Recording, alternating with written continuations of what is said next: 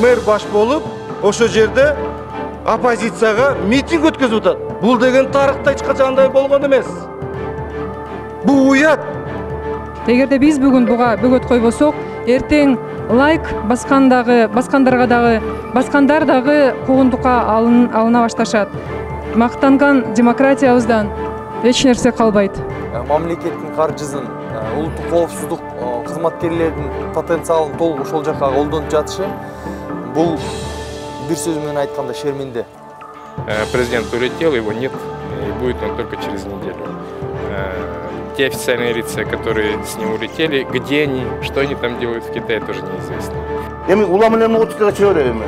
Ачыгын айтпайбы барганда мен ошол жерден дарыланайын же дагы жумуштарды бүтүрө келейин деп бар да машинаны кетирип калып кал да кийин учуп да муну сиздер билгендей эки миң сегизинчи жылы мен айтып чыккам. Бүгүнкүгө чейин койлорду паспорт бере элекпиз тиги кыз боосуп алып энесин коркутат деген макал бар катуу макал бирок биздин бийлик ошондой саясат евразиясынын ичинде ошондой саясат өткөзүп атат маселенин маңызы бар.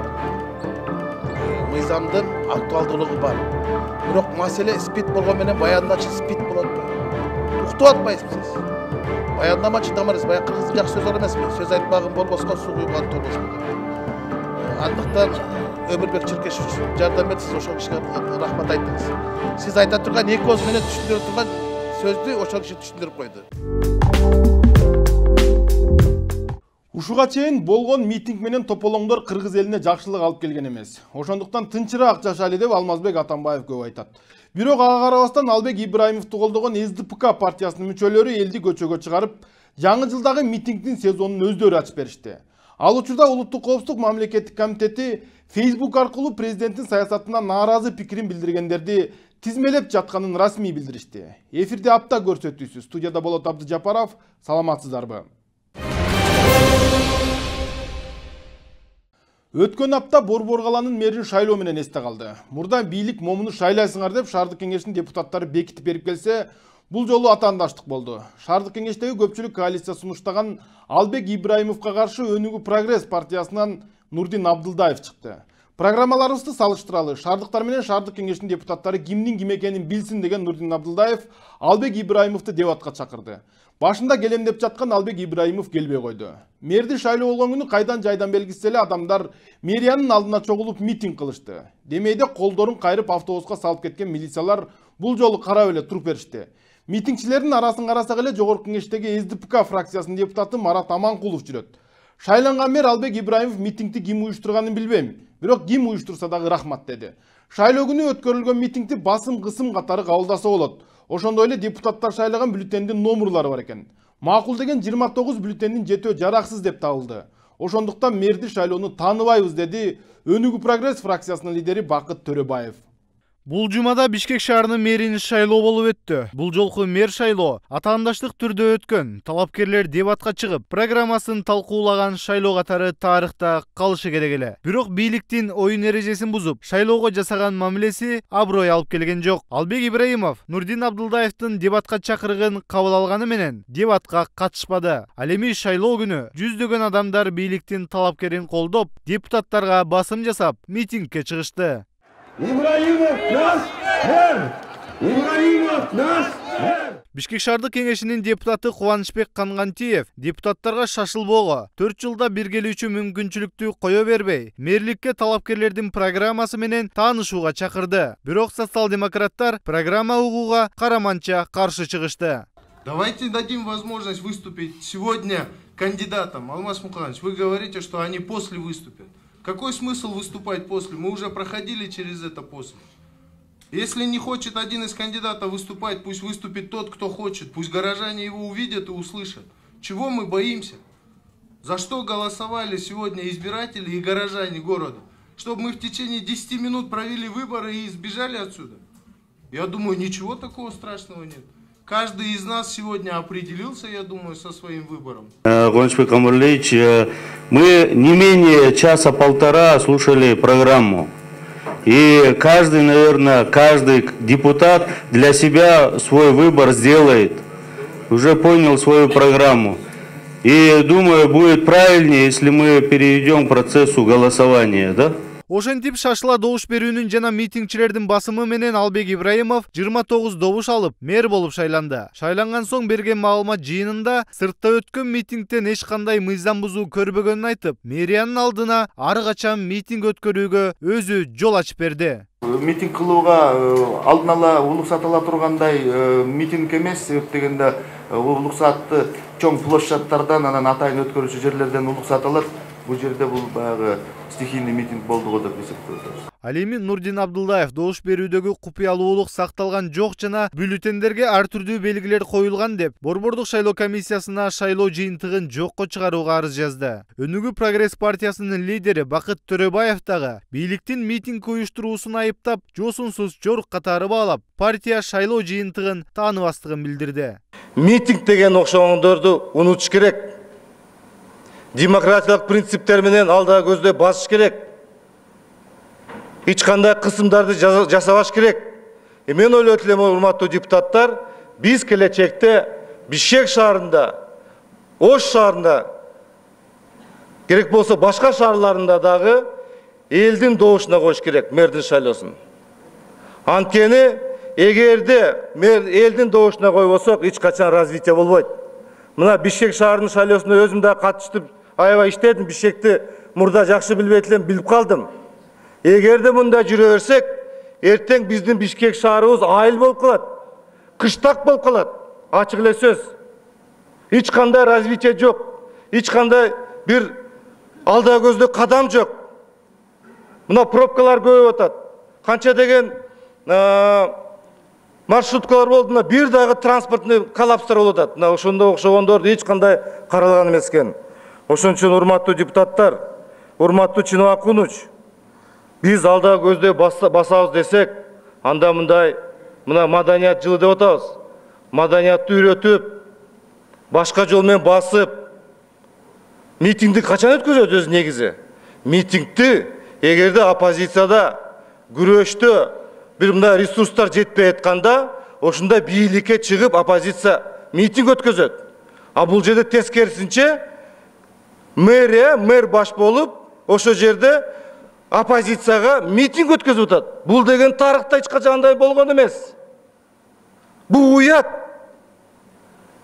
Сегиз ай иштеп жүрүп мындай элдин көйгөйүн угуп депутаттар менен жүрөгү иштеп мына ушу менен таза шайлоо менен утса мына ушунча ушунда биз ойлойт элек мэр чынында элдик мэр деп айтат элек ошондуктан биз өнүгүү прогресс фракциясы мен биз айтып атабыз бишкек шаарынын мэрин жыйынтыгын биз тааныбайбыз деп айткыбыз келет. Ошондой эле бакыт төрөбаев өнүгүү прогресс партиясы альтернативдүү талапкерлерди чыгарып келгендигин эми дагы башка шаарлардагы мэр шайлоодо талапкер чыгараарын айтты. Урматтуу депутаттар урматтуу калай калк. Биз мына азыр кыргызстан боюнча шаарларда мэрдин шайлоолору төрагалардын шайлоолору болот биз бүт жерде шаарларда айыл өкмөттөрдө биз альтернатива негизинде өзүбүздүн талапкерлерди коебуз эмне үчүн биз коюп атабыз биз мэрдин же төраганын креслосу үчүн эмес биз өзүбүздүн программабыздын өзүбүздүн иш аракеттерибиздин аткарылышы үчүн күрөшүп атабыз ушул шаарда таза шаар болсун жарык шаар болсун ушул шаарда транспорттук жүрүштөр туура болсун ошол шаарларда социалдык магазиндер болсун деген мына ушул негизинде биз күрөшүп атабыз. Мына бишкек шаарынын мэри коалициядан чыгарылган кыргызстан партиясынын программасы негизинде кошулган программа айткан жок бишкек шаарында.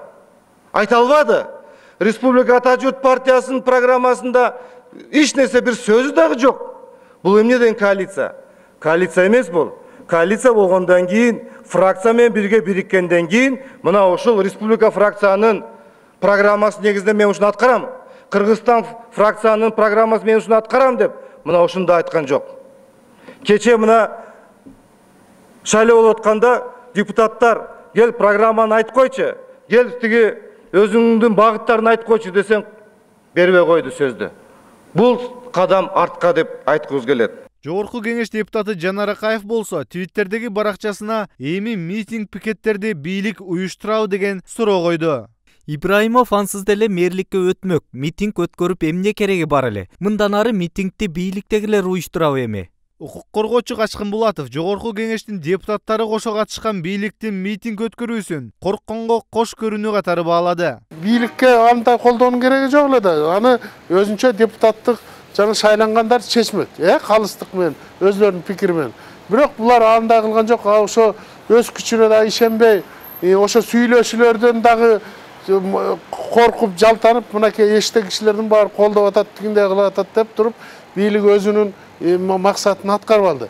Бул дагы жакшылыкка алып келбейт анткени албек ибраимовдун үстүнөн мындайча айтканда көп кылмыштуу иштер бети ачылып келатат борбордук шайлоо комиссиясынын жумушчу тобу бүгүн бишкек шаарынын мэрлигине талапкер болгон нурдин абдылдаевдин мэр шайлоо протоколдорун жараксыз деп табуу боюнча бшкга жолдогон арызын карап жумушчу топтун беш мүчөсүнүн төртү нурдин абдылдаевдин арызын четке кагуу боюнча добуш берсе бирөө атыр абдрахматова калыс добушун берген. Абдрахматова мындай пикирин бишкек шаарынын мэри шаар кеңешинин сессиясында шайланышы керектиги менен түшүндүргөн. Чындыгында тартылган видео тасманы көрүп отуруп бир топ күмөндүү ойлор жаралбай койбойт Мы тоже считаем, что галочка стоит, но так как отпечаталась паста в другом квадратике, мы считаем этот бюллетень действительным. Еще один такой же бюллетень, это под номером. Третий получается бюллетень по счету. Четвертый, та же самая причина – да это нормально тут. Нет, вот, вот, вот, отпечаталось. Но это вне квадратика же. Вообще, паста Сейчас покажу. покажу. Пятый такой же. Ошентип отуз депутаты бар көпчүлүк коалиция көргөзүп бирок өз депутаттары сатылып кетти деген шек менен жогорку кеңештин депутаттары кошо катышкан митингдин аркасы менен албек ибраимов алдыдагы төрт жыл бою борбор калааны башкарат. Ал эми кайсы гана шайлоо болбосун? Өзүнүн талапкерин алып чыгып альтернативдик шайлоо процессин камсыздап керек болсо мэр шайлоодогудай бийликтин жүрөгүнүн үчүн алган өнүгүү прогресс партиясы мэрдин ишмердүүлүгүн оппозицияда туруп тыкыр көзөмөлгө алат деп туралы марат төлөмүшұлы ренат Леманов, сентябрь. Тажикстанда митинг шайлоосу жок эле душанбеге мэр кылып эмомали рахмон өзүнүн тум баласын дайындап койду. Бизде демократия деп мактанганыбыз менен тажиктерден алыс кеткен жокпуз. Акаевдин бакиевдин убагындагыдай эле үй бүлөлүк бийлик жок болгону менен бир саясий топ өз баласынан дагы жакын адамдар жана алардын тууган туушкан жек жааттарды баардык майлуу сүттүү кызматтарды ээлеп отурат. Тажикстандын президенти эмомали рахмон жыйырма сегиз жаштагы уулу рустам эмомалини өлкөнүн баш калаасы дүйшөмбүгө мэр кылып дайындаган жарлыкка кол койду. Буга чейин президенттин тун уулу рустам эмомали кмш өлкөлөрүндөгү эң жаш генерал эсептелип тажикстандагы коррупцияга каршы иш алып барган агенттикти жетектеп келген. Мурда ал инвестиция боюнча жана кыймылсыз мүлк боюнча комитеттерде иштеген. Эки миң он үчүнчү жылы бажы кызматынын жетекчиси болуп дайындалган. Эки жылдан кийин жогоруда белгилеп өткөндөй тажикстандагы коррупцияга каршы күрөшкөн агенттикти жетектеген la la. Рустам эмомали президенттин тогуз баласынын экинчиси президенттин башка балдары да өлкөнүн майлуу сүттүү кызматтарын ээлеп иштеп келишет айтсак буга чейин отуз тогуз жаштагы азада рахмон тышкы иштер министрлигинин биринчи орун басары болуп келсе өткөн жылы атасынын жарлыгы менен мамлекет башчынын аппаратына жетекчи болуп дайындалды.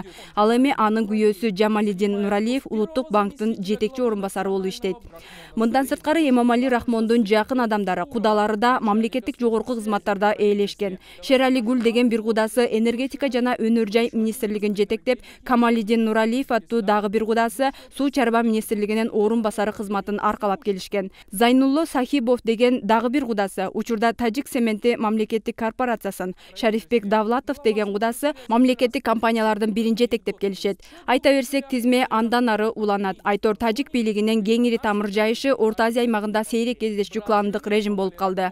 Обод пур аз سلامتی баракат ва کار آرزو می орзу همیشه ҳамеша пирӯзу сарбаланд бошед кландык башкаруудан кыргызстандын деле уучукур эмес тажикстандагыдан эч айырмасы жок көрүнүш бизде да орун алууда анткени президент атамбаевдин көздөй адамдары биринен сала экинчиси бийликтин жогорку бутактарына дайындалып келатканы жашыруун эмес айтсак баласындай болгон албек ибраимов экинчи ирет мэр болду депутаты сделали свой выбор. Мы как бы это принимаем это решение. Очень жаль, что это было сделано под каким-то давлением. Но я желаю вам успехов. албек ибраимов президент атамбаев эң жакын адам экенин жана жакындык байланышы бардыгына бактылуу экендигин өзү деле коомчулуктан жашырбай келет бизди жыйырма жылдык достук мамиле байланыштырат мени тагдыр алмазбек шаршенович менен жолуктурганына кубанычтамын бизди бир тууган деп койсо да болот ал мага абдан жакын адам ал мага өмүр бою жардам берген колдогон жана жада калса мезгил мезгили менен финансылык жардам да көрсөтүп турган чынында эле атамбаев президент болгондон бери албек ибраимовду бир нече майлуу сүттүү кызматтарга дайындап келет айтсак бишкек эркин экономикалык аймагына жетекчи кылган эки миң он экинчи жылы дастан ачык акционердик коомунун директору кийин президенттин аппаратынын жетекчи орун басарлыгына жылуу узабай манас аба майданына жетекчи кылып дайындаган акырында мэрлик кызматка келип эми минтип экинчи ирет мэр болуп отурат мэрдин абалы кыйын болуп өтпөй кала турган болуп коркунуч болуп атканын сезгенден кийин анан чыгып эптеп өткөрүп алышты аттап тондоп баягы көчүгүнөн түртүп антип өткөрүп алды. Эми бул мэр бизди деле жарытпайт ачыгынан мага мисалы бул мэрдин иштегени такыр жакпайт мына шаар азыр баягы эле таштанды дагы эле токтогон жок кызыгы атамбаевдин чексиз колдоосуна ээ болгон албек ибраимов өз каалоосу менен кызматтан кызматка көтөрүлүп ал тургай атамбаев баштаган кландык салтты да кынтыксыз улап келүүдө мисалга ибраимов аэропортко директор болуп барганда орун басары кылып алып барган эмил чукуевди гтрде өзүнүн ордуна дайындап кеткен. Ошентип ал манас аэропортунда директорлук кызматты ээлеп калды ал эми ош аэропортуна болсо өзүнүн жээни талант директор кылып койгону коомчулукка анчейин белгилүү эмес болсо керек. Айтмакчы албек ибраимов эки миң он үчүнчү жылы президенттик аппараттын жетекчисинин орун басарлыгына келбей жатып кара чечеке күйөө баласы азамат усеновду аппаратка алып келген. Азыр ал тышкы иштер министрлигинде министрдин орун басары кызматын ээлеп отурат. Айтайын дегенибиз ташы жогору кулап кызматтан кызматка көтөрүлүп карьералык өсүш жасоо үчүн эч кандай илим билимдин деле кереги жок экен. Болгону бийликтеги адамдын тууганы досу иши кылса жакын адамы болуу гана жетиштүү турбайбы деген тыянакка аргасыз келесиң. Динар турдугова зарылбек шермаматов сентябрь. Жаңырган эки миң он жетинчи жыл президенттин жарлыгы менен адеп ыйман жана маданият жылы деп жарыяланды. Мындай демилге кыргыз эли айрыкча жаштары адептен алыстап ыймансыз жана маданиятсыз болуп жатканынан улам көтөрүлдү окшойт. Улууну урматтоо кичүүгө ызат эл эмне дейт деген жазылбаган мыйзамдар менен адепти ыйманды сактап кылымдардан бери улут катары сакталып келген кыргыз эли ошол эң баалуу нерселерди сактап калуу бул албетте туура. Маселе кантип сактап калабыз? Президенттин аппарат жетекчисинин орун басары мира карыбаева кыргыздардын жан дүйнөсүндө жашаган адеп ыйман деген нерсенин маанисин кыргыздарга орусча түшүндүрүп жатат. Аны чечмелеген коомдук канал президенттин демилгесин саясатташтырып айрым саясатчылар өтө эле адепсиз деп өмүрбек текебаев менен камчыбек ташиевдин архивдеги видеосун көргөзүштү. Бул нерсени кандай түшүнсө болот? Бирөөнү каралоо жала жабуу адепсиздик болуп эсептелсе президенттин аппараты менен ктр кыргыз элин ушундай жол менен адептүүлүккө чакырып жатабы. Же камчыбек ташиев менен өмүрбек текебаевди ктр аркылуу жамандаса эле кыргыз эли адептүү жана ыймандуу болуп кетеби. Кылымдарды карытып канчалык кыйынчылык болсо дагы улут катары сакталып келген улуу кыргыз эли көчмөндөр жашаган боз үйдө кулпу сала турган жери жок түрмө дагы болгон эмес себеби ал жака камай турган ууру кески кылмышкерлер да жок болгон кыргыздар эч качан туруктуу армия кармаган эмес себеби ар бирөөнүн жүрөгүндө ата мекенди коргоо сезими болгон мына ушул нерсенин баардыгы конституция жана башка кодекстер менен эмес эл эмне дейт деген эки ооз сөздөн турган мыйзам менен эле тескелген сарбагыш уруусунун бир баласы кемчилдик кылса бүт урууга. Мындайча айтканда саяктын балдары айткан ай сарбагыш тетиги балаңар эмне болуп атат депчи намыс ошондуктан бир уруу бир ар бир баласын ар бир кызын тарбиялаган мындайча айтканда жана кыска кырк үйдөн тарбия дегендей балдарга дагы сен атаңдын эмес апаңдын эмес бир туугандарыңдын эле эмес бүт бир урууну сөзгө жыгасың мына эл эмне дейт ушундан чыгып атат жаман сөз менен эл оозуна алынуу же элден чыгып калуудан өткөн кордук болгон эмес. Себеби өз уруусунан же өз айылынан чыгып калган адамды башкалар дагы кабыл албай коюшчу. Ошондуктан эл эмне дейт деген мыйзам ар бир жаран үчүн маанилүү болуп келген. Дайыма коркушкан. Мен элден чыгып калам деп корккон. Анан мисалы күнөөгө кетирип койсо кой сен элден чыктың деп бар қайда барып жашасаң жаша. Мына мисалы сарбағыштар кемин кочкор айланып жашашкан да ошол жерден бөлүп чыгарып койгондон кийин аны башка уруулар кабыл албай сүргүндүү болуп ал кулдан да жаман болуп кайда барып көчүп консо дагы ай сен баланча жерден баланча болуп чыгып калгансың деп бул түрмөгө түшкөндөн жаман болгон. Учурда кыргыз республикасында алты миңге жакын нормативдик укуктук акты бар. Бирок баардыгы биригип келип эл эмне дейт деген эки ооз сөзчөлүк таасири жок болуп жатат. Ошондуктан прокурорлор баары мыйзамдуу деген бүтүм чыгарып өлкө башчысы эл эмне десе ошо десин деп ак сарай салдырып жатат мисалы жанагы президентибиздин жерге хан сарай куруп алганы тем более ошол бакиевтерден калган жерге куруп алганы бул мындайча айтканда адепсиздик да мына ыйман адеп жылы деп атпайбызбы ошонун адепсиздигине кирип калат да ыйманды бузганына кирип калат анан эми мындай да мен эми мына мыйзам турат мен эмне кылсам өзүм биле берем деген бул болбойт. Кыргыздын жан дүйнөсүнөн чыккан адеп ыйман маданият деген эмне экенин президенттин аппарат башчысынын орун басары кыргыздарга орусча түшүндүрүп берди. Первое слово на кыргызском языке «иман», который имеет одновременно две глубоких коннотации, да, кыргызча, вот в любом словаре можешь посмотреть, да. С одной стороны, это слово переводят как «вера», а с другой стороны, его переводят и как «нравственность», вот в смысле, как в русском понимается, да, то есть здесь как раз очень важно донести до общества в этом году такую мысль, бул сөздү чечмелеп беребиз деген коомдук канал өлкө башчысынын демилгесин саясатташтырып айрым саясатчылар өтө адепсиз деп алардын архивдеги видеолорун көргөзүштү арасында атамекен фракциясынын лидери дагы жүрөт мурат каныч бул видеонун чоо жайын түшүндүрүп кетсек парламент жыйынында кумтөр маселеси талкууланып жаткан кыргызстандын таламын талашып жаткан өмүрбек текебаевка мурадил мадеминов тынч отуруңуз дейт мен айрым кошоматчы депутаттардай болуп отура бере албайм деген текебаевди мурадил мадеминов чуркап келип жакадан алып жатат ошондо кимиси адепсиз болот. Кыргызстандын таламын талашып канадалыктарга каршы чыгып жаткан өмүрбек текебаевбы же бийликке кошомат кылып сдпк менен экинчи жолу депутат болуп келген. Өзүнөн он беш жаш улуу адамды жакадан алып анан алдында калган спортсмен мурадил мадеминов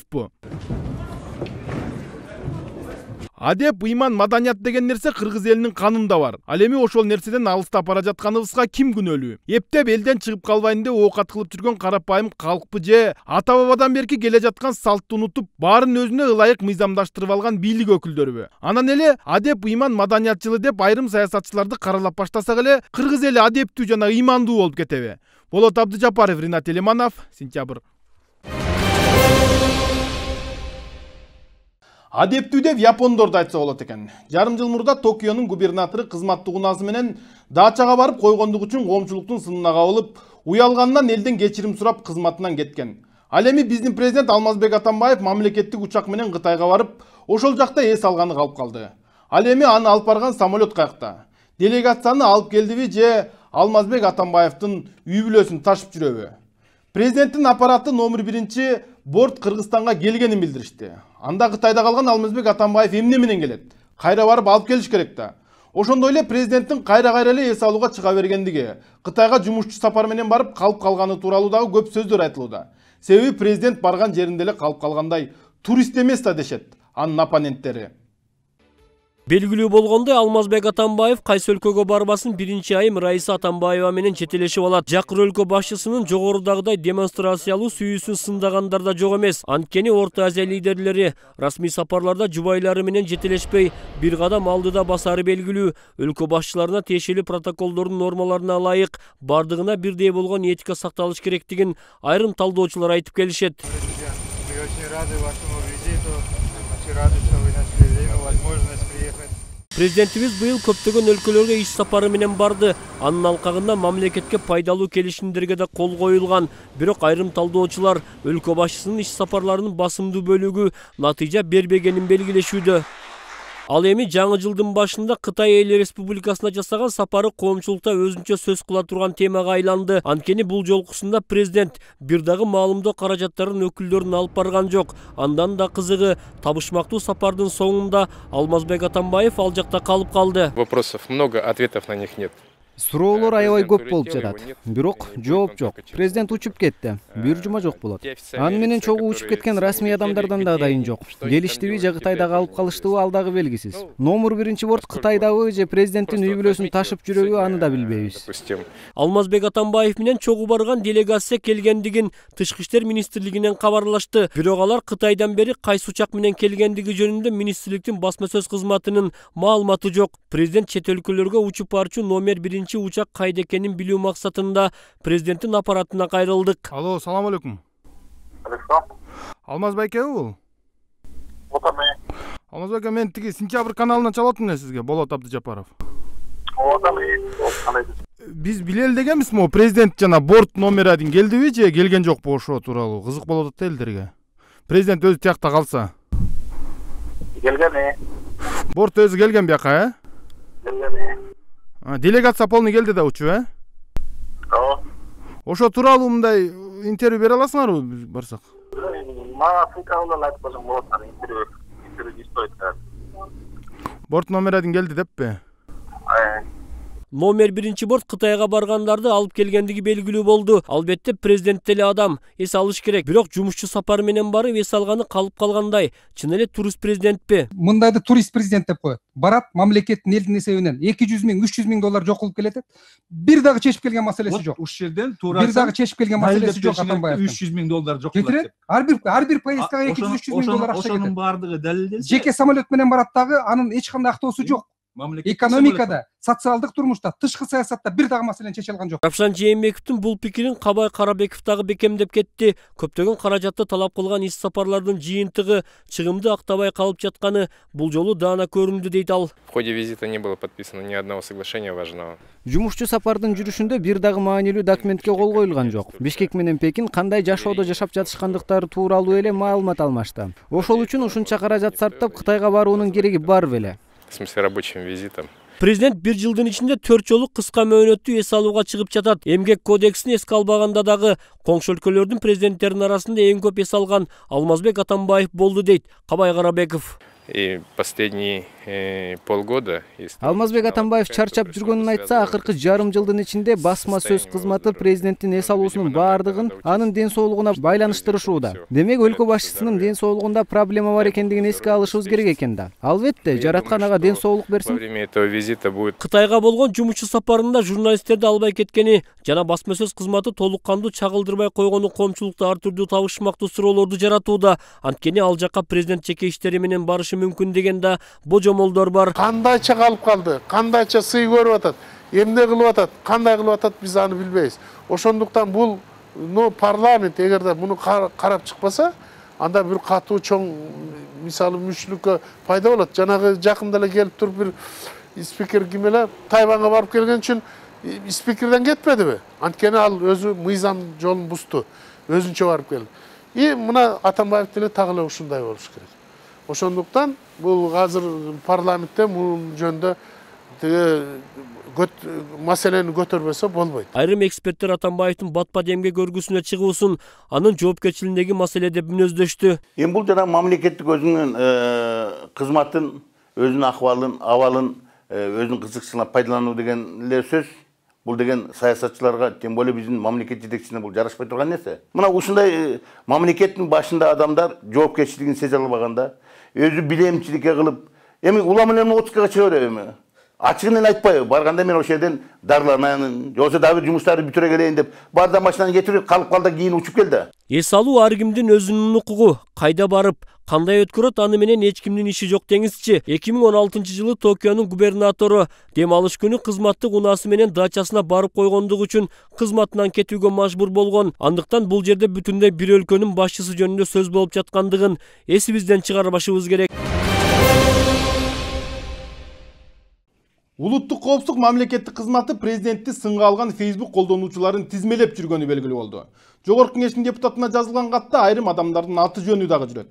Бул маалымат социалдык түйүн колдонуучуларынын кызуу талкуусуна алынган соң ирина карамушкина эч кимди каматкан же соттоткон аткан жери жок бул жөн гана мени менен ведомство ортосундагы маалымат алмашуу деди бирок чын эле ушундай аракеттер көрүлүп жатканы коомчулукка белгилүү болуп калды бул биринчи кезекте демократия жана сөз эркиндигинин принциптерине карама каршы келет экинчиден улуттук коопсуздук комитетинде фейсбукту карап отургандан башка жумуш жокпу деген суроо туулат бул жумада улуттук коопсуздук мамлекеттик комитети фейсбукту аңдып отурары белгилүү болуп депутат ирина карамушкинага жазган каты жарыяланды ал катта атайын кызмат президент атамбаевди сындап жазган 45 фейсбук колдонуучуну аныктагандыгын алардын кээ бирин табууга мүмкүн болсо кээ бирин издөө иштери жүрүп жаткандыгы жазылган ал эми жалал абаддын президенти сындаган 11 тургунуна оозун тыйып жүрүүсү эскертилген улуттук коопсуздук мамлекеттик комитетинин фейсбук аңдып отуруп президентти сындаган адамдарды тапканы коомчулукта дароо сынга кабылды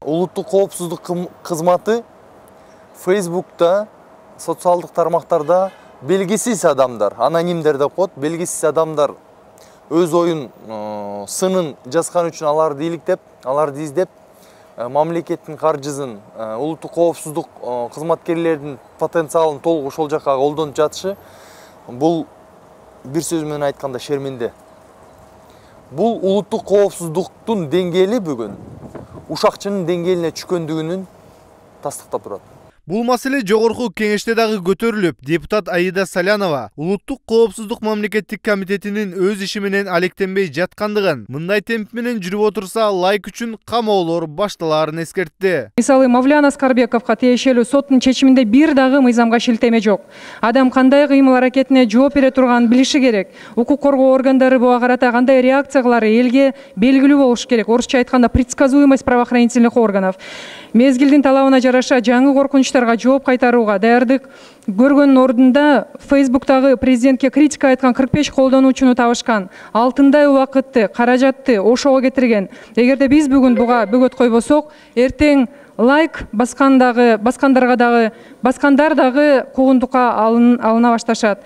Мактанган демократиябыздан эч нерсе калбайт ал эми улуттук коопсуздук мамлекеттик комитетине кат жолдоп президентти сындаган адамдарды табууну талап кылган депутат ирина карамушкина шайлоочулардын өтүнүчүн аткаргандыгын айтат я хочу еще раз сказать всем, чтобы вы были в курсе, что данный официальный запрос я сделала в орган национальной безопасности, пользуясь законами Кыргызской республики, правом о статусе депутата, потому что было ко мне обращение от наших граждан. И я обязана была отреагировать, потому что они беспокоятся. Почему же пять лет идет оскорбление?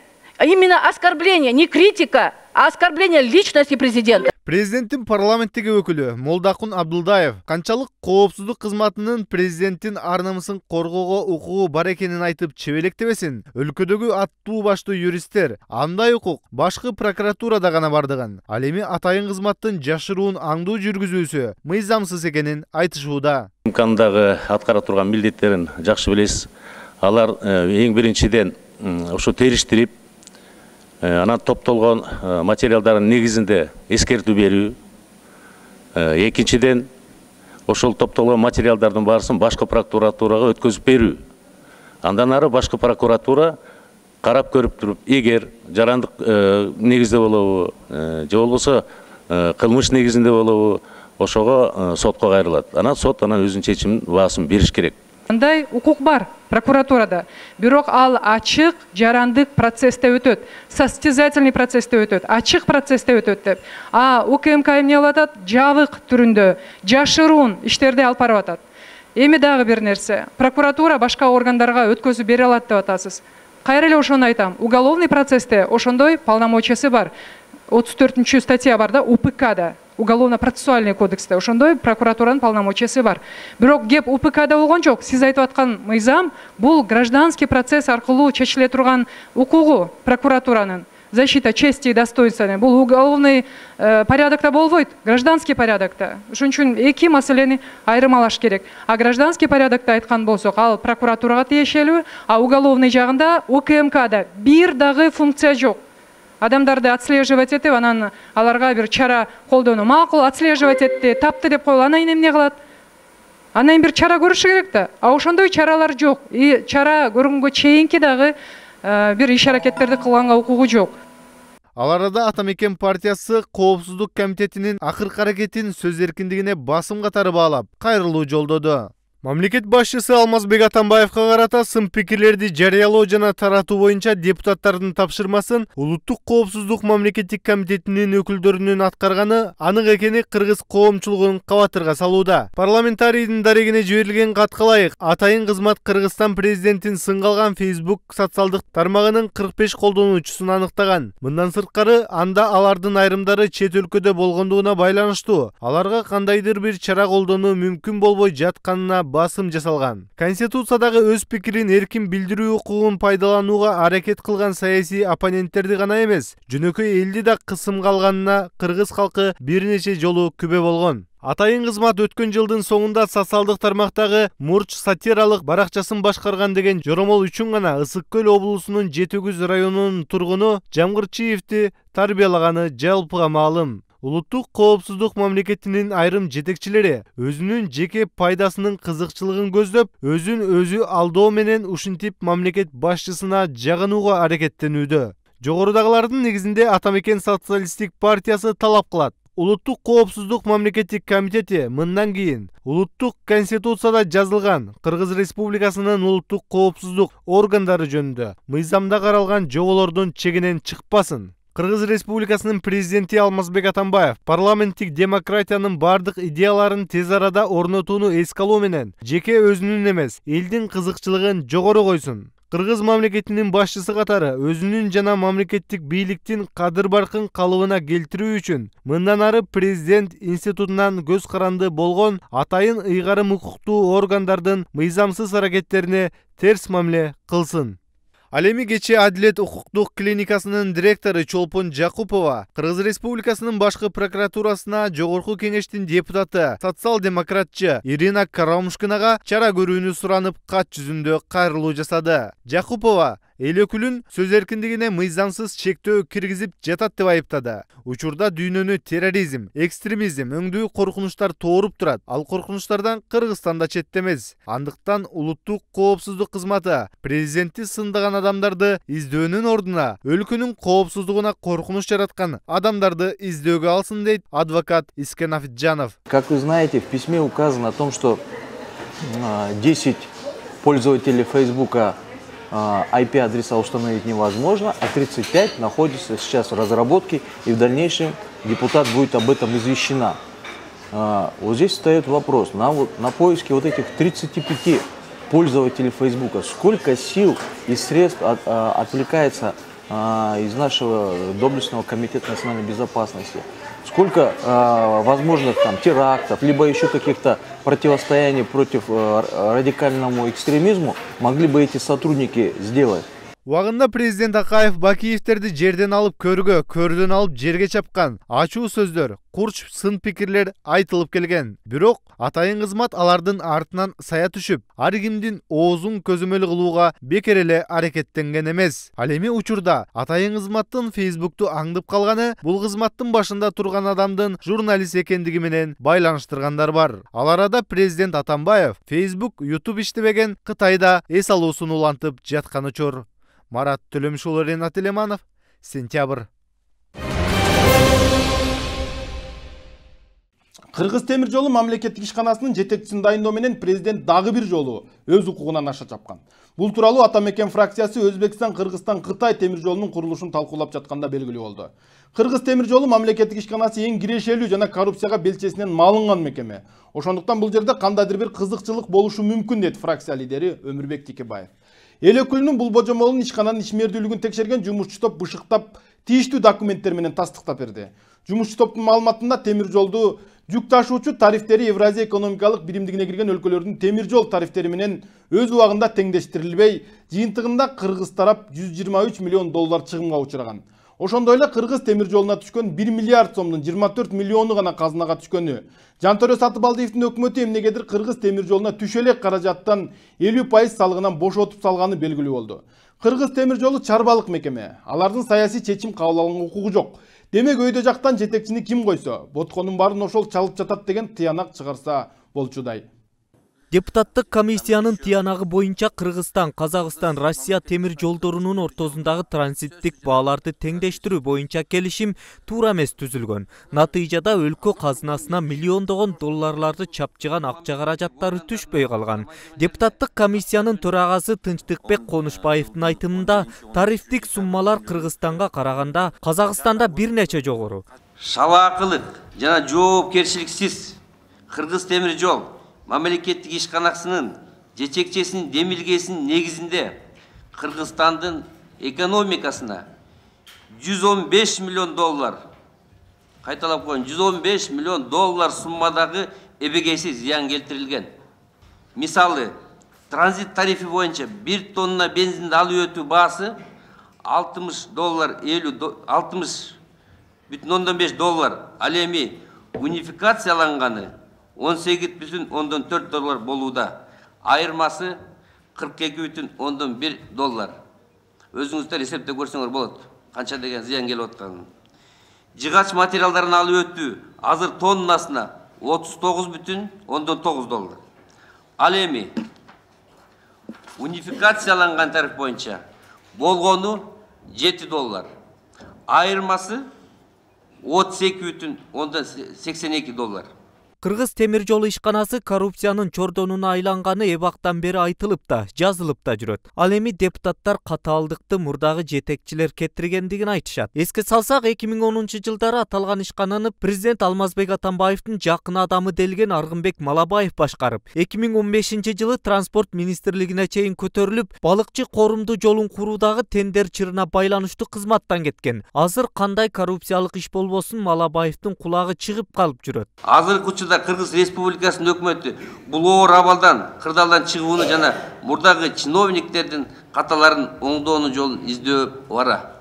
Я считаю что это нужно и нужно квалифицировать как изменение родине а не просто халатность или злоупотребление. А тут ущерб 200 миллионов минимум где-то от 150 до 200 миллионов долларов нанесен ущерб нашему бизнесу а всей нашей стране, каждому гражданину, потому что это повлекло за собой повышение тарифов. Чейрек кылымдан бери мамлекеттик үлүшү бар ишканалардан кыргызстан пайда көргөндүн ордуна зыян тартып келет анткени кыргыз темир жолунун абалын оңдоо үчүн бир нече жолу казынадан миллиондогон акчалар гранттар кредиттер ал тургай аталган ишканадан түшкөн пайданын он беш пайызын мурдагы өкмөт башчылар бошотуп келишкен бирок оңдоп түзөтүү иштерине жалпысынан миллиарддаган акчалар бөлүнгөнү менен кыргыз темир жолу ишканасы мышык ыйлаарлык абалда экендигин эксперттер айтышат за две тысячи двенадцатый год выполнено 22,8 километра капитального ремонта железнодорожного пути. Капитальный ремонт, вы понимаете, это полностью смена рельсов, шпал и составляющих всего. Ни одного ничего не сделано, ни стрелочных переводов не, не заменено, ни переводных брусьев не заменено, ничего нет, но пишут, что капитальный ремонт сделан. И берут же деньги, как сделан капитальный ремонт, а делается всего-навсего маленький текущий ремонт, смена шпал и наклада. И для этого они устраивают грандиозные тендер, тендера. Эксперттер аталган ишкананын таз кейпине келишинин себепкери катары мурдагы өкмөт башчылары жантөрө сатыбалдиев жана темир сариев. Ошондой эле кыргыз темир жол ишканасынын мурдагы жетекчилеринин атын атады. Бирок эл өкүлдөрү коррупциялык ишке тиешелүү адамдардын атын атоодон эмнегедир айбыгып турушкансыды. Баардыгын бул жерде отурат экенбиз а бирок кимдир бирөө ал жерде бир схема кылып кандайдыр бир бирөөнүн кызыкчылыгында иштегендей бир көрүнүш түзүлүп атат да. Темир жол ишканасындагы коррупциялык жагдайды түн ортосу абалап иттер жүрөт карма ууруну карма деп ууру жүрөт деген сөз менен чагылдырууга болот казынабыз как жарып экономикабыз өксүп турган учурда өлкөгө тиешелүү миллиондогон акчаларды өз курсагына кымырып алууга чоң саясий эрк жана ишенимдүү тирек керек. Анткени аталган ишканада коррупция жөнүндө көп жолу айтылып бирок күнөөлүүлөр ашкере болбой келиши изилдөө иштеринин мыйзам чегинде эмес саясий максаттап жүрүп жаткандыгын каңкуулап турат антсе да ата мекен парламенттик фракциясынын депутаты эмил токтошев күнөөлүүлөрдү таап жоопкерчиликке тартуу талабын койду туугандар биз каяка каратабыз ишенген ишканабыз ушундай акыбалда келсе биз биз элдин бетин кандай карайбыз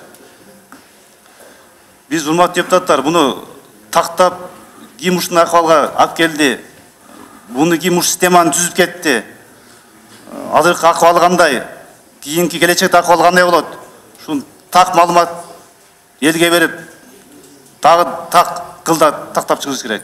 Кыргыз темир жол ишканасынын пайдасын кыргызстан эмес кошуна өлкөлөр көрүп жүрөт себеби ишканага тиешелүү вагондор ижарага эмес бекер берилген биздин вагондар өзбекстанда бекер колдонулат экен ремонтун дагы өзүбүз төлөйт болушубуз керек. Анан биз азыр кайра кредит алып дагы вагондорду алып кайра түштүккө жиберсек бизге таш көмүргө же малисага кирип жүк түшүрөт деле кайра кирет кайра эле өзбектер ушуну колдонот каржы министрлигинин маалыматы боюнча кыргызстандын мамлекеттик карызы төрт бүтүн жүздөн жетимиш төрт миллиард долларды түздү ал эми мамлекеттик ишканалардагы миллиондогон акчалар жеке адамдардын капчыгына кетип жатса экономиканын өнүгүшүнө шек жара албай койбойт зарылбек шермаматов сентябрь жогорку кеңеш тарабынан чийки жана бардык тараптар эске алмаган мыйзамдар көп кабыл алынчу болду. Анын бири батирлерди мейманканага берүүгө тыюу салган мыйзам. Албетте сойкулуктуу жана жагымсыз иштерге бөгөт коюу үчүн бул мыйзамдын пайдасы бардыр. Бирок туризм тармагына терс таасирин тийгизип коюшу мүмкүн. Мисалы нарын шаарында жайгашкан ала тоо мейманканасына кыштын күнү барсаң тоңуп өлүшүң мүмкүн. Ошондуктан бир суткага берилчү батирлерге жатууга аргас болосуң. Каракол шаарында дагы ушул маселе көтөрүлүп нааразы болгондор көчөгө чыгышты. Ушундай эле көрүнүш өлкөнүн көп аймактарында бар. Кыргызстан бишкек менен оштон эле турбайт. Инфраструктурасы өнүкпөгөн аймактар бизде аябагандай эле көп. Анан ошол жерде туристтерге шарт түзүп жаткандарга он миң сом айып пул салуу логикалык жактан алганда канчалык деңгээлде туура болот. Күнүмдүк батир берүү бизнеси өлкөнүн ири шаарларына кеңири кулаш жайган. Мисалы бишкек шаарынын ибраимов москва көчөлөрүнүн кесилишинде алардын базары башталат. Ай сайын отуз миңден элүү миң сомго чейин киреше тапкан жарандар патент менен иш алып барышат. Эки миң он алтынчы жылдын этегинде президент алмазбек атамбаев кол койгон административдик жоопкерчилик жөнүндө кодекске ылайык. Күнүмдүк батир бизнеси ушул жылдын онунчу январынан тартып токтотулду. Эл өкүлдөрү тарабынан иштелип кабыл алынган мыйзам алардын нааразычылыгын арбытууда. Азыр эми бул мыйзам долбоору ишке ашса мисалы ушу эме таптакыр эле кескин эле жаап салбай ушу элдин баарынан салык алса болмок деген менин жекече оюм бар да. Мисалы мен ушул жерде бир квартирага бир жарым миң сом төлөсөм мен менен иштеген коллегалардын эч бири төлөбөйт деп ойлойм ойлобой эле билем да төлөшпөйт. Ошонун баары тең салык боло бермек казынага кандайдыр бир кошумча каражат түшүп турмак деп ойлоп атам да. Кээ бир талдоочулар бул бизнести жабуу менен мейманкана тармагы өнүгөт деген пикирин билдиришкен бирок коомчулук өкүлдөрүнүн ырастоолоруна караганда ысык көл нарын талас облустарында маңдай жылытаарлык мейманканалар жок андыктан туристтер өлкө тургундары көбүнчө конок үйлөрүн тандашат. Аталган тармактын өкүлдөрү конокторду тейлөөгө ири суммадагы насыяларды да алышкан Э, цель этого закона мы увидим только в монополии самих э, предпринимателей, бизнесменов, э, чиновников, депутатов, которые являются владельцами больших отелей. Под этот закон попадают предприниматели, которые работали, получается, с туристами, с командировочными, люди больные, которые приезжают сюда на лечение. Да, получается, мы попадаем под этот закон. На нас вешают ярлык это нас глубоко унижает. Ал эми депутат дастан бекешев мыйзамдын иштелип чыгышына көп кабаттуу үйлөрдүн жашоочуларынын даттануулары себеп болгонун айтууда. Анткени айрым батирлер сойкукана үчүн пайдаланылып калгандыгын билдирет. Ар кандай э, сойкул кыздар келет экен э, арак ичкен кишилер келет экен көп мушташ болот экен ар кандай түнчүнө күндө дагы керек болсо ошол эле ар кандай мындай дауыштар э, чыгат экен ошол жерден. Эми жаш конечно жаш адамдар аны чыдайт проблема жок андан а байкуш пенсионерлер эмне кылышат? Алар барып ошол менен конфликт э, кылса бул туура эмес дейм. Бизге дагы ушундай э, көп арыздар түшкөн. Ошол эле кезде жарандык коом өкүлдөрү көпчүлүк депутаттардын мейманканалары пансионаттары бар болгондуктан күнүмдүк батирлерди жабууга кызыктар экендигин белгилешүүдө алсак мыйзам долбоорунун демилгечилеринин бири кожобек ырысбаевдин баласына тиешелүү мейманкана бизнеси бардыгын мисал келтиришүүдө жарандык активист бурул усманалиева бул мыйзам кабыл алынган күндө деле кагаз жүзүндө кала берет деген пикирде. Мыйзам мааниси жагынан туура эле мындай батирлерде жаман иштер болбосун деген максат болгон экен. Бирок бизде баардык мыйзамды сактап жашаган эч ким жок мунун дагы жолун табышат маселен казино ачуу мыйзам менен тыйылган бирок азыр жашыруун же башка ат менен иштелип атат. Бизнестин өкүлдөрү жаңыдан күчүнө кирип жаткан мыйзамга каршылыгын билдирип жер жерлерге митингтерге чыгууда алсак жакында бишкек жана каракол шаарларында нааразычылык акциялары өттү биз кабатырлануу менен президентибиздин жаңы буйругуна нааразы болуп турабыз бул буйрук бизди нансыз калтырган атат бул жактагы эл туристтик бизнестен гана үмүт артат биздеги жай да кыска негизинен кышкы туризм тоо лыжа базасы менен акырындап оокатыбызды таап атабыз азыр болсо ушул буйрук менен биз кирешебизден ажыраган турабыз катышуучулар мыйзамга каршы экендигин коомчулукка шардана кылышып өздөрүнүн жашоо шартына токтолушту туристтер келип полный өзүнүн үйүндө жашаганда алар да ошону каалашат тамагын жасап ичет жылыткылар келсе жылытып ичет лцд телевизор мындай койгула дейт ошолордун талаптарынын баарын аткарып биз насыяларды алып алып мисалы үчүн мен эки кредитим бар.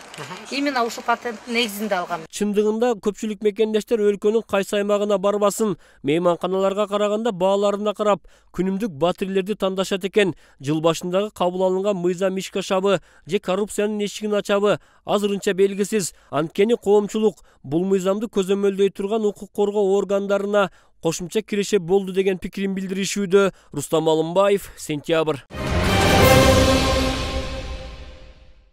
өлөйүн десем өмүр кымбат өлбөйүн десем көмүр кымбат деп кыргыздын бир акыны айткан экен жылдагыдан башкача ызгар суука тоңуп үйүндө бир тоголок көмүрү жок нарындыктар ушул саптарды эстеди окшойт өкмөттүн өкүлчүлүгү аймактарды өнүктүрүү мекемеси тийиштүү көлөмдөгү көмүр бар дейт ктрдин журналисти көмүр жок дейт кимисине ишенериңди билбейсиң жогорку кеңешке чакырылган өкмөттүн нарын облусундагы өкүлү аманбай кайыпов көмүр казган компанияларды айыптаса көмүр казган компаниялардын биринин кожоюну камчыбек жолдошбаев аманбай кайыпов менен ак дала районунун акими коррупционер деп айыптады. Бирок жогорку кеңештеги бул талаш тартыш нарындыктарды жылыткан жок. Нарын облусундагы кара алтын кендерине каралар бийлик кылып кезге чейин мамлекет алардын чеңгээлинен эл байлыгын кайтара албай бара учурда да учу кыйыры жок бүтпөгөн чуудан улам карапайым эл он күндөн бери көмүрү жок калышкан буга чейин өкмөттүн нарындагы өкүлү аманбай кайыпов облус кышка толугу менен даяр көмүр тартыштыгы болбойт деп эл алдында бир нече жолу убада берип келген бирок үшүгөн элдин үнүн эл өкүлү аида салянова парламент жыйынында көтөрдү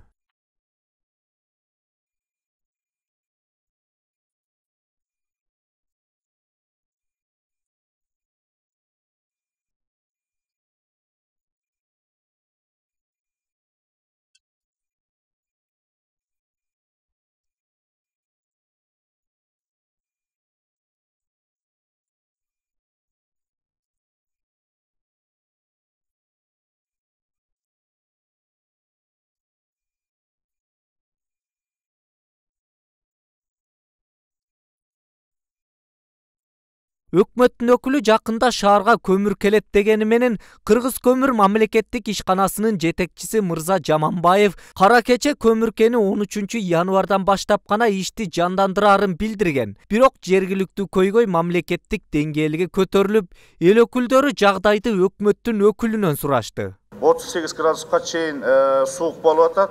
Ошон үчүн баягы жалпы элге дагы көмүр дагы ошол кошумча керектелүү керектелүү керектенин үстүндө болуп атат.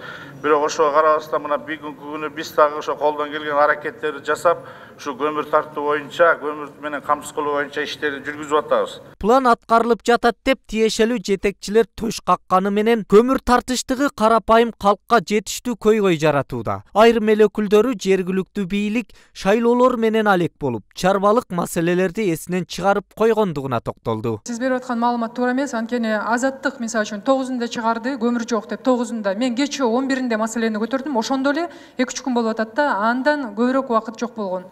Айтканда тактап айтсаңыз кийин эми тастыкталат да эл билет да канча күн жок болуп атканын мына бүгүн негизи ушул ситуацияга алып барбаш керек болчу да мен ойлойм эң биринчи орунда себеп бул шайлоо. Шайлоого чуркадыңар дагы бул маселени унутуп койдуңар да силер. Көмүр үзгүлтүксүз көмүрдү ташып келип беребиз. Элибизде буюрса кыштан аман эсен алып чыгып кетет депутат камчыбек жолдошбаев облуста иш жүргүзүп жаткан көмүр өндүрүүчү фирмалардан түшүүчү салыктарга кызыкты. Миң сомдон болсо алты жүз миңдон алты жүз миллион түшүш керек. Алтымыш миллион түшүш керек. Ал жерде он миллион дагы налог жок. Каяка кетти ал? Аны тактап туруп сизге жооп берейин. Кандай тактайсыз? Областтын жетекчиси болуп турсаңыз.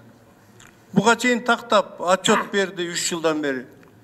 Мактап кулбараков айтты аябай жыргатып атат момундай момундай деп айтты.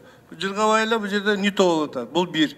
Экинчи телевидениени көргөзүп атат нарындын ичинде кара кулпук кайтарып турат бүт көмүргендер жок деп. Анда телевидение кетиш керек же болбосо сиз кетишиңиз керек? Текшерип көрүңүздөр эгерде мына бүгүнкү күнү жок болсо мен деле кеткенге даярмын. Кара алтындын жетишсиздиги аймактагы мектеп бала бакчаларга да таасир эткен күндөн күнгө баасы асман чапчып бараткан көмүрдү орточо алты миң сом айлык алган кызматкерлер кантип алат деген суроону депутат наталья никтенко ортого салды и были факты воспламенения угля. На сегодняшний день некоторые не обеспечены в полной мере соцобъекты углем, несмотря на то, что это самый холодный регион. Скажите, средняя заработная плата по Нарынской области какая, можете сказать? 5-6 сом. 5-6 тысяч. А средняя стоимость одной тонны угля? 3500 сом.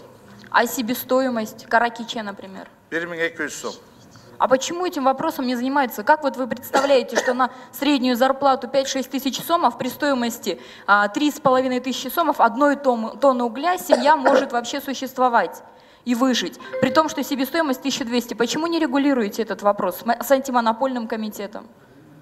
Антимонопольный комитет менен, кыргыз көмүр менен андай сүйлөшүүлөр болгон.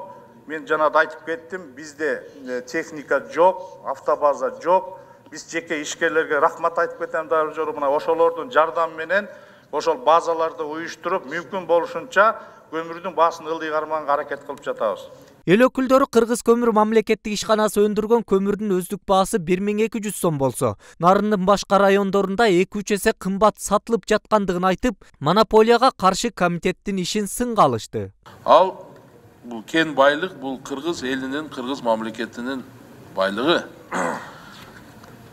сиз губернатор катары туура нарын областы мынандай оор шарттуу регион бирок сиз ага жол бербеш керек элеңиз алар ошол жеке компаниялар миллиондогон пайданы көрүп атат налогдон качат эми возможно мен мынандай айтпайын так ошондуктан эгерде алар элге ошол мектептерге бир аз кызмат кылып койгон болсо аны мындай как милдет катары көрбөш керек да мен сизден суранат элем анан кийин мынау антимонопольный комитеттин мен жумушун такыр көрбөй атам да эмне жумуш жасады ушу ошол эле кезде көмүрдүн баасын кескин көтөрүп жаткан тиешелүү мекемелердин ишин изилдеп чара көрүү керектиги белгиленди. Мына мамлекеттин саясаты мына өкмөттүн саясаты саясаты биздин өзүбүздүн өндүрүүчүбүз бар.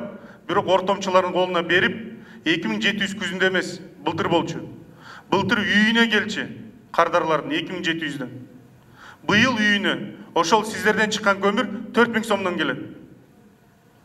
Бул боюнча чара колдонуш керек айтканда өкмөт чара колдонуш керек.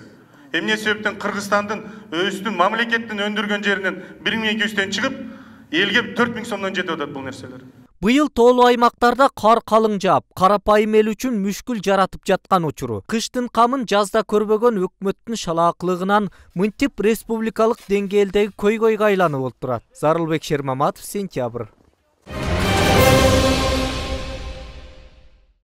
Евразия экономикалык биримдигине кирсек эле жыргайбыз деген сөздү бийлик башындагылар көп айтчу. Азыр айтпай калышты анткени бул уюмга киргенден бери көргөн пайдабыздан зыяныбыз көп болуп жатат өткөн аптада казакстан менен кыргызстандан чыккан сүт жана эт продукцияларын өз аймагы аркылуу автоунаа менен ташып өтүүгө казакстан тыюу салды.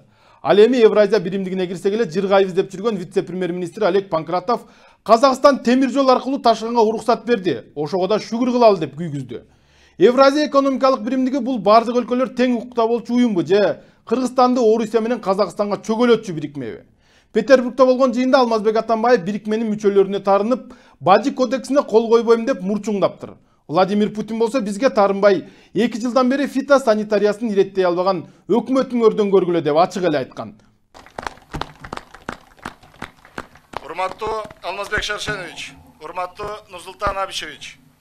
Мамлекеттик чек аранын кыргыз казак аймагындагы баажы көзөмөлүн алып салуу аземи ушуну менен аяктады кыргыз республикасынын баажы органы мамлекеттик чек аранын кыргыз казак аймагынан казакстан менен кыргызстандын ортосундагы бажы постун алып салуу салтанатында өлкө башчысы алмазбек атамбаев кыргызстандын тарыхында жаңы барак ачылып жатканын айткан бирок ошондо бир жыл өтпөй кыргыздар эти менен сүтүн сата албай казактарга жалдырап калаарын сезбесе керек бул тарыхый нерсе анткени кыргыз казак бир тууган бир тууган эл кыргыз казактын ортосунда бажы эмес чек ара деле кудай буюрса келечекте болбош керек ушундай тарыхый күндө нурсултан абишович назарбаев өзү келип ушул чоң бир салтанатка катышканы бажы шлагбаумдардын баарын алганы бул албетте бул тарыхый нерсе ошол учурда өкмөт башчы жана ушул маселени тескеген министр олег панкратов кыргызстан евразия экономикалык биримдикке кирүүгө баардык жагынан даярбыз деп ишендирген ал түгүл биздин продукцияны текшерген лабораториялар эң жогорку деңгээлде. Керек болсо орустардыкынан дагы ашып кетерин айткан. Экономическая комиссия эксперты они приезжали смотрели и тогда подтвердили что действительно работа кыргызского центра аккредитации соответствует всем стандартам. Анан эле евразия экономикалык биримдигине киргенден тарта көргөн пайдабыздан зыяныбыз көп боло баштады ойлогонбуз да евразиялык биримдик бул той деп. Той эмес ал жерде күрөш атаандаштык биз ошого даяр эмес киргенбиз бүгүнкү күнгө чейин дагы эс учубузду жыя албай атабыз да евразиялык биримдикте биз эгерде футболго аналогия кыла турган болсок азыр мындай запасной игрок болуп эле өзүбүз сыртта калдык да ичинде мындай ошонун үзүрүн көрүп ошонун пайдасын көрөм деген жакшы аракеттер болбой атат евразия экономикалык биримдигинде болгон нааразычылыктар петербург шаарында болгон жыйында ачыкка чыкты. Биримдиктин ишмердүүлүгүн тескей турган документ бажы кодексине алмазбек атамбаев алгач кол койбой. Анан кол койгону маалым болду. Бул көрүнүштү ар ким ар кандай баалады? Биз киргенден кийин ал жерден дагы ачык айтканда түртүш керек улуттун кызыгышын көздөгөн саясат өткөзүп керек болсо уруш керек. Жөн эле баягы бир мындай өтө мындай жөнөкөй эл теле көрүүчүлөр түшүнүшүн тиги кыз боосуп алып энесин коркутат деген макал бар катуу макал бирок биздин бийлик ошондой саясат. Евразиясынын ичинде ошондой саясат. Өткөзүп атат эгер кыргызстандын продукциясы орусия менен казакстандын рыногуна кире албай жатса күнөө орустарда же казактарда эмес фитосанитариясын иретке келтире албай жаткан кыргыз өкмөтүндө бул тууралуу владимир путин маалымат жыйынында билдирди по сельскому хозяйству действительно есть проблема, связанная с необходимостью соблюдения фитосанитарных норм. И есть пока нерешенные вопросы с организацией этой работы в Кыргызстане.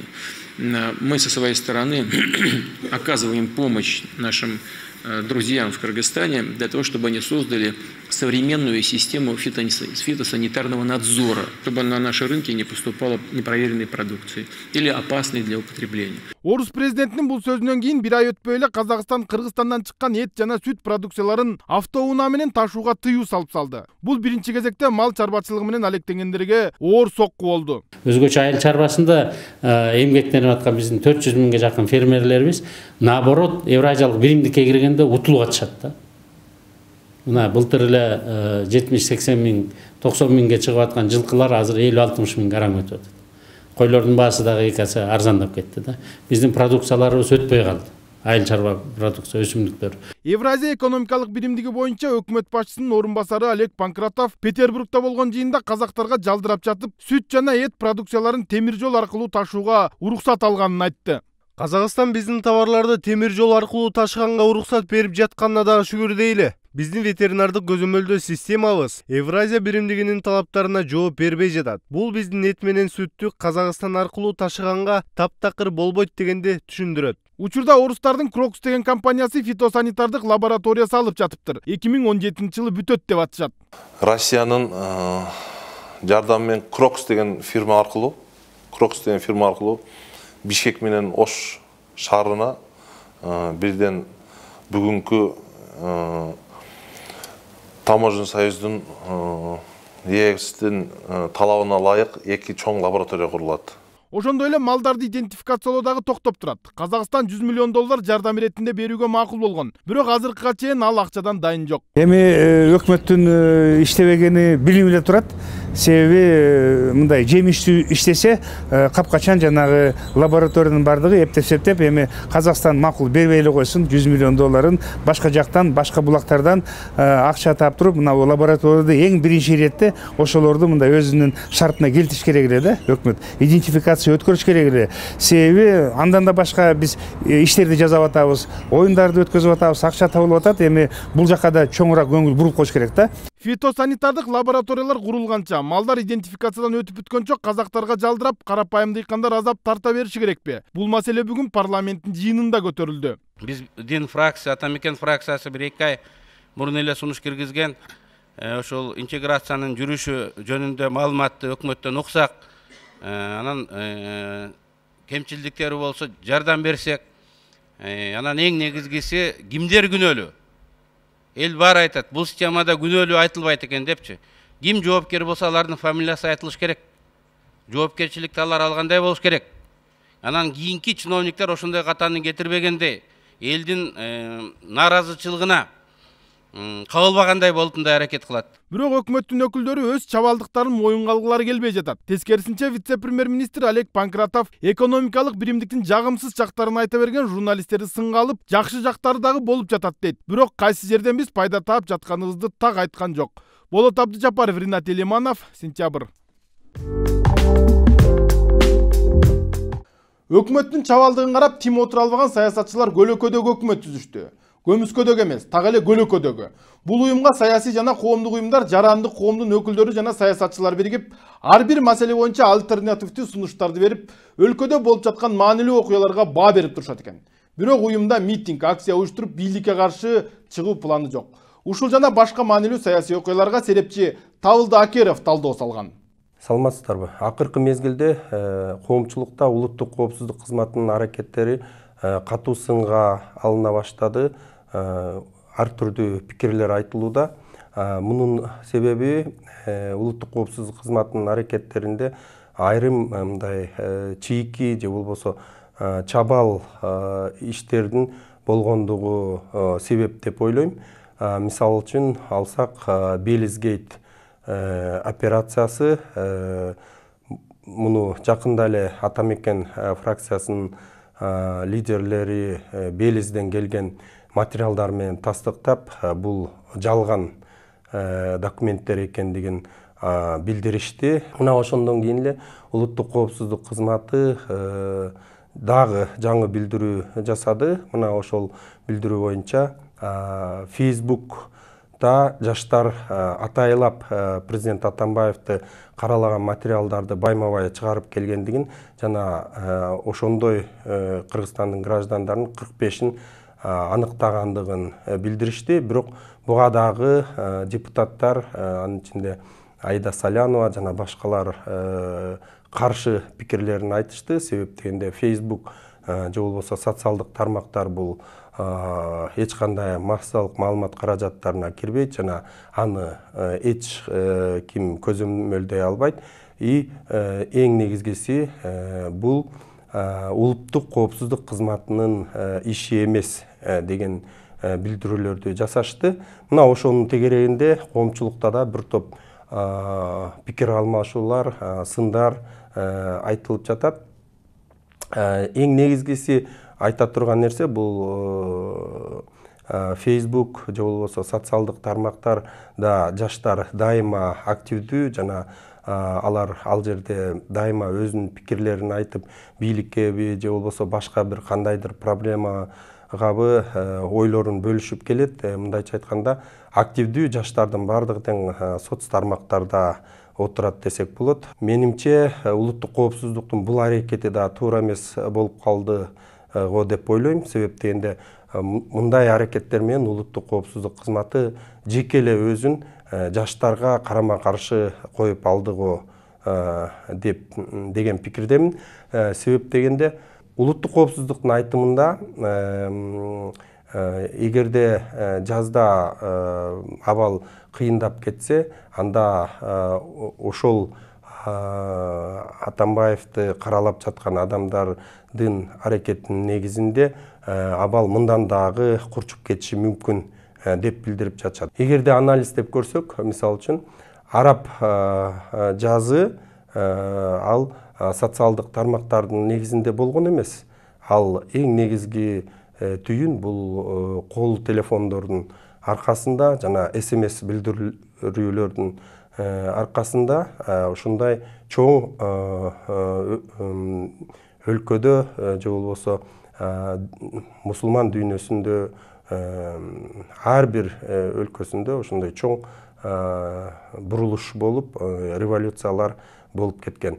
Ошол эле кыргызстанды алсак жетинчи апрель революциясы дагы көпчүлүгүндө социалдык тармактар аркылуу эмес кол телефон аркылуу смс билдирүүлөр аркылуу жаштарды аянтка келгиле чогулгула бизди атып атат деген чакырыктар менен мындайча айтканда мобилизациялоо күч болгон деп ойлойм. Мына ошондуктан алсак улуттук коопсуздук кызматынын бул аракети дагы туура эмес мындайча айтканда дагы бир жолу улуттук коопсуздук кызматы өзүнүн компетентсиздигин билдирип койду десек болот бирок туура эгерде чындап эле айрым жаштар президент атамбаевди ушул соц тармактар аркылуу каралап жаткан болсо анын дагы бир топ жолдору бар. Муну кантип мындай жөнгө салууга мисалы үчүн ошол эле президент атамбаевдин пресс кызматы президент атамбаев жөнүндө жана анын үй бүлөсү жөнүндө ар кандай мындай позитивдүү материалдарды байма бай чыгарып турушу керек. Ошондо жаштар дагы коомчулук дагы ал жерден өздөрү эки маалыматты тең окуп ылгап туура чечим кабыл ала алат деп ойлойм. Мисалы үчүн президент атамбаев жана башка анын үй бүлөлөрү тууралуу позитивдүү материалдарды фейсбукка байма бай салып турса болот.